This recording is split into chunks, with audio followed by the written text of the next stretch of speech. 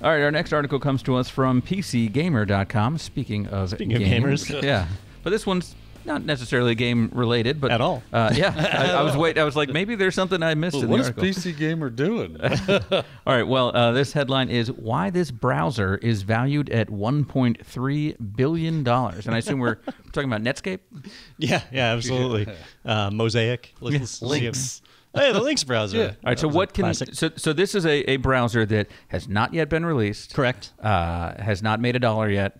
It's valued at 1.3 billion. Obviously, that, Does it even exist? That's a startup valuation based on funding they've gotten. But but what are people so excited about about this browser? All right, so a couple of things on this one. First off, we haven't said the name, right? So it's called the Island browser. So Island is the name of this one. Uh, it's a web browser that is being designed focused on security. So it's considered a enterprise web browser, not for home users, but for businesses that are looking to have secure web browsing experiences for their employees. this is this is the browser they use on Epstein's Island. Uh, that is a good question. I'm I'm guessing not because See, I thought uh, it had a face tattoo and a bad, poor, like poorly done Jamaican accent. Oh, okay. yeah. and get the, the hairs braided Yes, for yes. yeah. All right. There you go.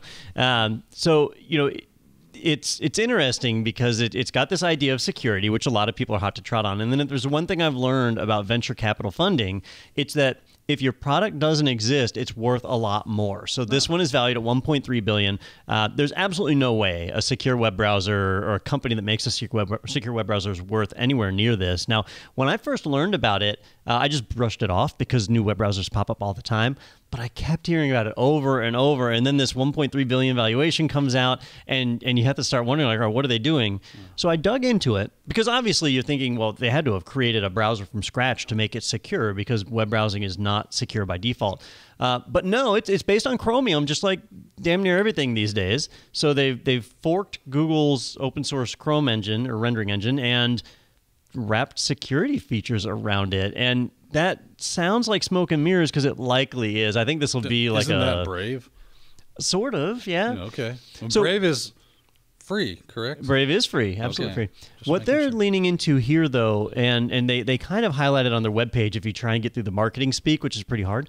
Um, that that their goal is providing network administrators the tools to secure the browsing experience. And so, what I think that means is that it's manageable like through group policy. I was about to say we don't have group policy, So we, we do if you're on a Windows machine. which is Edge, which is a Chromium-based browser. that's correct. correct. Okay, just But- following the math here. What if you're a all Mac network?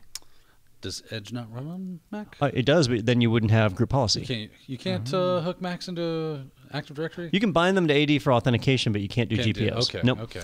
And so they, you know, they they're promising that there's all these features for securing the browsing experience and sandboxing it, keeping your data safe so that drive-by websites aren't able to, to lift your employee right. data and so on. Uh, so it's it's saying that it's got some amazing features, but Daniel, you're exactly right. Like Brave does a lot of this stuff, and, and honestly, standard browsers do it. So I wanted to get your your opinion, Daniel. Like if if you were to design a secure web browser, Uh-huh. what does that even mean to you? Like what what would make a browser secure? So, what makes a browser secure is that it doesn't run any like active content.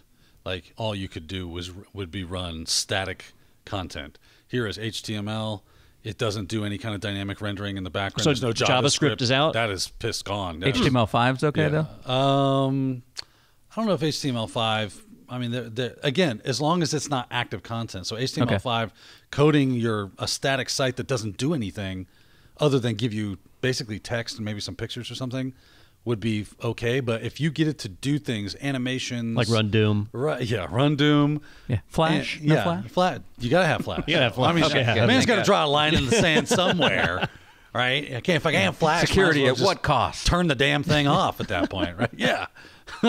but yeah, that that's the problem with like browsers is they they actually run code that gets sent to them from web servers, and if that code is malicious, then it's going to run that malicious code. We try to put you know. Uh, security controls around that. Do we trust this type of content? Do you get a pop up that says, "Hey, you're trying to run X, Y, or Z. You're trying to go off of this website and go somewhere else." There's all these things, but that's nothing proprietary to this thing.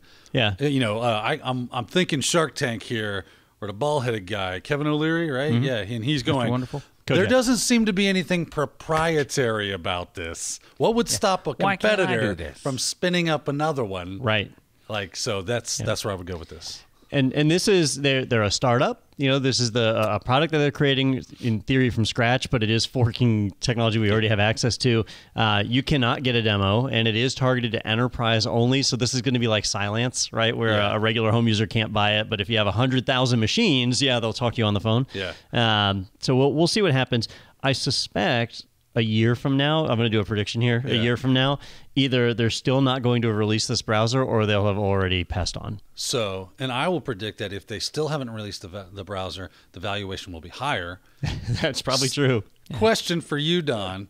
Who is valuating these things? Uh, Elizabeth Holmes. Uh, she uh, is the founder of this one. So she just her own valuation? She's So- so the Theranos one. Yeah. Peter is is right that it's based on the amount of money that investors have already put in there. So they have raised 115 million dollars. That's that's money that people have invested in Okay. it.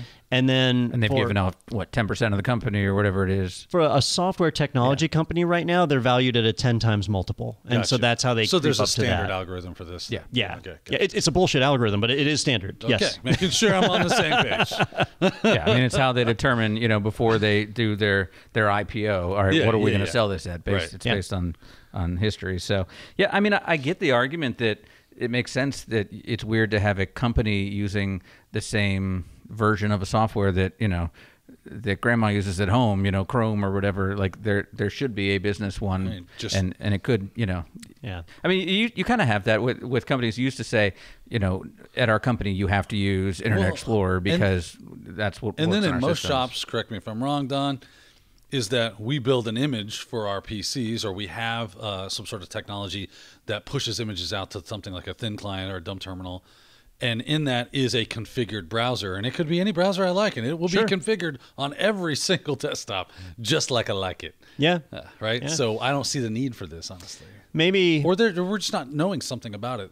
you know, let, let me give them the benefit of the doubt. Maybe Yeah. they've got something where, like, I could go to any computer, Yeah. download the Island browser, and log in with my account, and it's secure and configured and, and all that. Because, like you, you mentioned, JavaScript. Can, can I do that with Chrome? Have you? Well, Yes. not really. so with, with Chrome, if I log into it, it starts caching all sorts of my information locally, right? Hmm. So I would I would never Okay. log into Chrome on a hotel computer. Gotcha. Right. Hmm.